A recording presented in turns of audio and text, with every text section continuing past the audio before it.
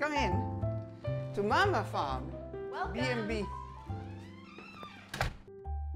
This is the entrance, and this is where the breakfast would be, and then we have rooms all around. This is uh, the vintage raised room.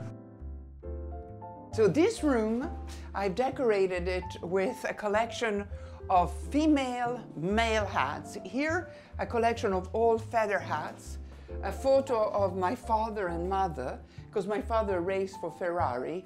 I mean, it's amazing that they used to race cars in this. I mean, it feels so flimsy. no? it feels like nothing. And cars that had no protection. Yeah.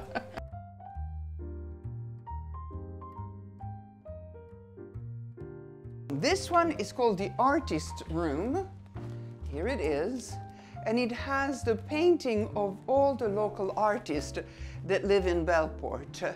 So, for example, uh, this was the first sweater made with wool and uh, from the farm, and this was knitted by Lita Morley for my son Ronan when he was just born, and it's such a cute sweater. And of course, Ronan fitted into it for like two weeks, you know, and then they grow so fast. So we had it framed to always remember.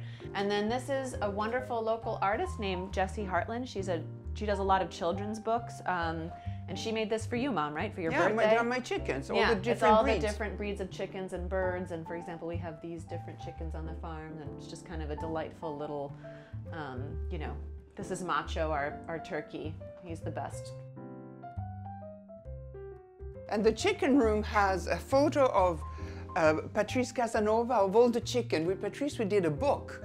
And this is all the illustration and the scientific information that I gave in the book about chickens. Because uh, here we have many chickens. Uh, and I am a scientist too, not only an actress. Come, then there is the David Lynch room. the David Lynch room, and he has two twin beds, but they can be put together and not the queen bed. And this is all the art of David Lynch uh, that I, who I worked with in many films. The kitchen kit. Uh, he dismembered a chicken and then gave instruction to assemble it.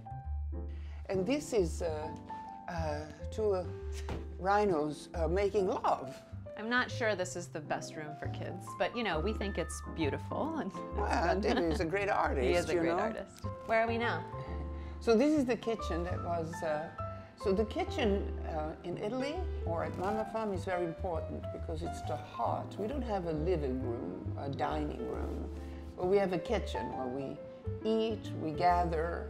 Of course, we have the fabulous vegetables that Patty and Early Girl Farm produces. We have eggs, we have uh, um, honey, and so this is our heart, a gathering place. And it was built by Pietro, Didn't he always want to design a room that looked like the inside of a cigar box? Yes. That was the inspiration for this room.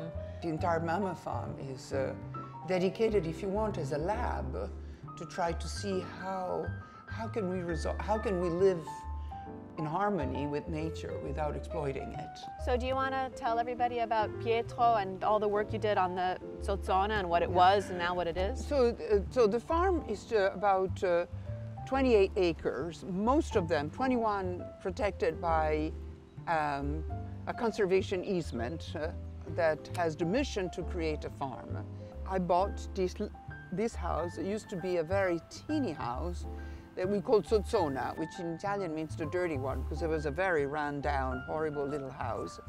And then with my friend Pietro Cicognani, who is an architect, we thought you can create a bed and breakfast. Then we can accommodate our client, our members, and still have a place that it can be a refuge uh, in case there is bad weather or it's too hot and you need a, a half an hour of air conditioning or too cold and you need a half an hour of a heated room. And that became the wonderful kitchen that is really is the heart of this place.